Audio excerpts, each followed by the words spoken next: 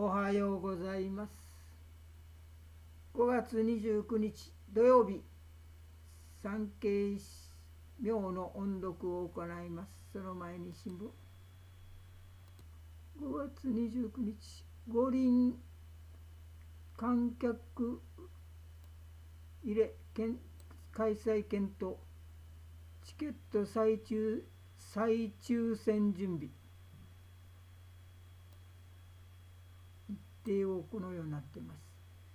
次にコロナ関係緊急事態来月20日まで首相3週間極めて大事。9都道府県延長。9都道府県とはえー、っとここに書いてあります。北海道東京愛知大阪兵庫京都岡山広島です。百貨店平日夜8時まで大阪。これは原発の処理水福島第一東京電力放出へ工程案。処理水9月海底調査となっております。次に産経明今日の産経明の表題は次のようにしました。毎日新聞の LGBT 社説は日本を訴訟社会へ向かわせることになる。では三景名の音読を行い今日の三景名は私は読んでもよく理解できないかったです。皆さんも頑張って理解してください。では音読します。国会裏にある衆院議員会館で記事のネタを求めていた27日のことである。複数の議員が同日付の朝日新聞社説差別を禁止するのが当然を話題にしていた。同性愛者ら性的少数者 LGBT への理解増進を図る法案を今国会で成立させるべきだとの主張が記されている。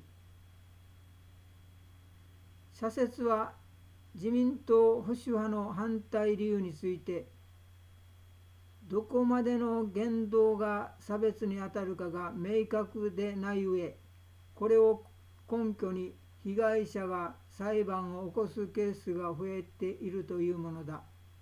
と指摘している。反対理由は他にもあるが議員らが驚き問題にしていたのはそれに続く一文だった。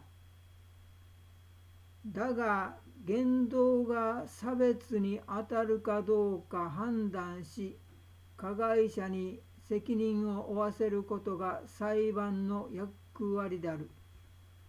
まるで訴訟が乱発されても結論を出すのが裁判所の仕事だからそれでいいと言わんばかりである。日本をギスギスとした訴訟社会へと向かわせることに抵抗は覚えないのか。裁判の件は確かに自民党内で議論になった。法案推進派は裁判にはならない。なっても不当な訴えなら勝てると説いたという。とはいえ、勝ち負けだけが大切ではない。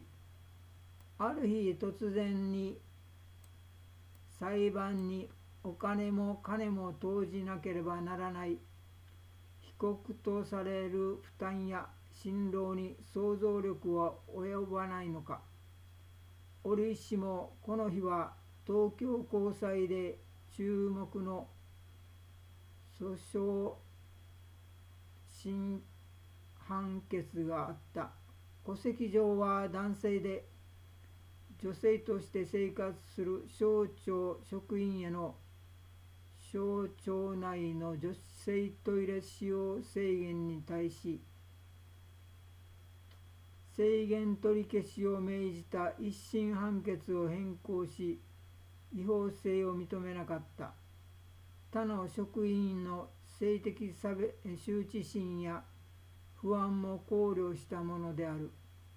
もし法案が先に成立していたら高裁は一審判決を支持しただろう。差別は憎むべきだが差別だと言えば相手を萎縮させられる社会にはしたくない。平成3年5月29日三景明の音読を終わります。私には理解できないこの今日の三景明でした。次は世界コロナ世界のコロナ国内尖閣といきます。はい新型コロナ感染者が多い国はこのようになっております。次は国内。国内昨日より3008名えー、っと昨日は4000名越してましたけど3000名台3000名台に下がっております。まだまだです。気をつけましょう。次は尖閣の情勢。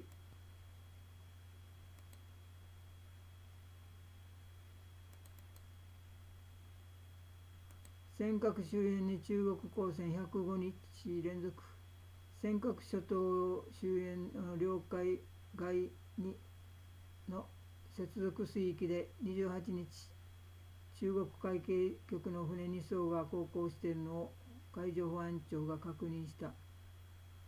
確認されるのは105日連続。第11関空海上保安本部はの巡視船はが領海に近づかないように警告しました。この下の記事はユニクロ。異物混入が可能性があるということで自主回収しました。クレームになる前に自主回収したということですね。すごい。え以上です。ありがとうございました。